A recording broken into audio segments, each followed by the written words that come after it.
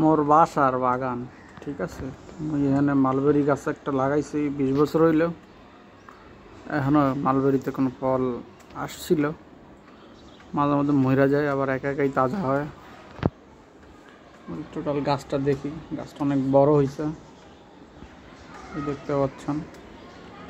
Actually আমি এখানে কোনো সার ব্যবহার করি না তো, যে কারণে আসলে গাছ সম্পর্কে কোনো ধারণাও নাই।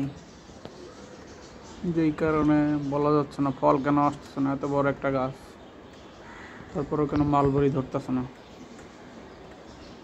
পাশাপাশি আমি এখানে দেখেন পুঁইশাক লাগাইছি। পুঁইশাক মোটা- মোটামুটি ভালো ফলন হয়।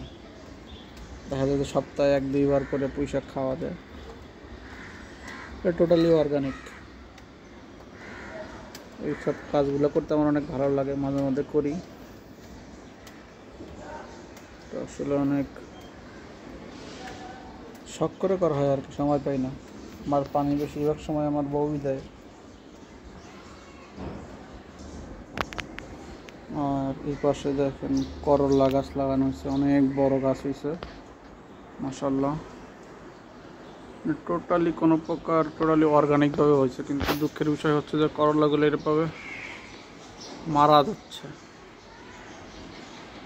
কেন মারা যাচ্ছে বা শুকায় যাচ্ছে বলতে পারতেছি না। আপনারা যদি, আপনার যদি কোনো সাজেশন থেকে থাকে কী টাইপের সার ব্যবহার করলে এগুলো মরবে না, এখন অনেক অনেক ফুল আসছে কিন্তু আসলে সেইভাবে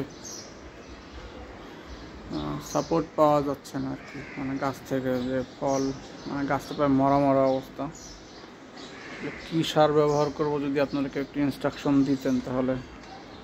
এটা খুবই ভালো হইতো। গাছ মশাল্লা অনেক বড়।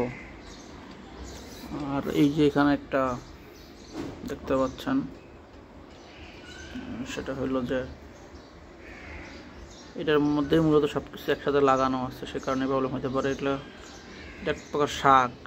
এখানে আসলে যা কিছু লাগানো হয় সবই এখানে হয়। খুবই উর্বর মাটি, কিন্তু আসলে এই করলা গাছে কী সমস্যা হয়েছে এটা? আসলে বোঝা একটু কঠিন।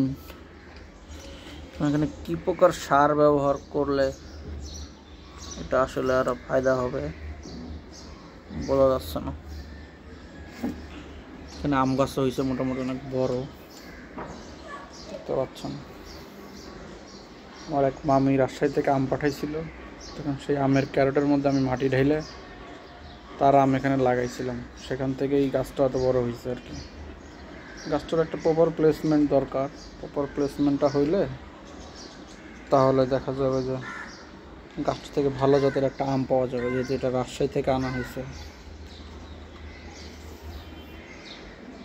সে মোটামুটি ওভারঅল এই করলাটা নিয়ে একটু চিন্তায় আছি, করলা আসলে কি করা যায়, কেন মরে যাচ্ছে?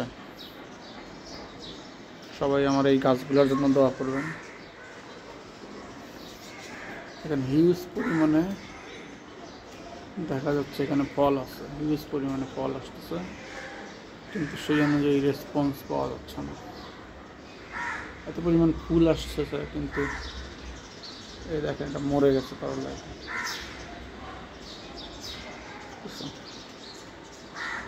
কী সার ব্যবহার করলে এই সমস্যা থেকে উত্তরণ পাওয়া যাবে? সবাই একটু জানাবেন প্লিজ দয়া করে আমাকে